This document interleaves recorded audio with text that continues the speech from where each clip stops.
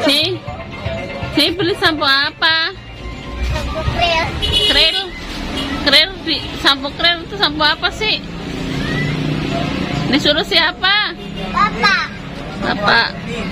Sampo apa? Coba lihat. Si, ulang sekali lagi sampo apa sih?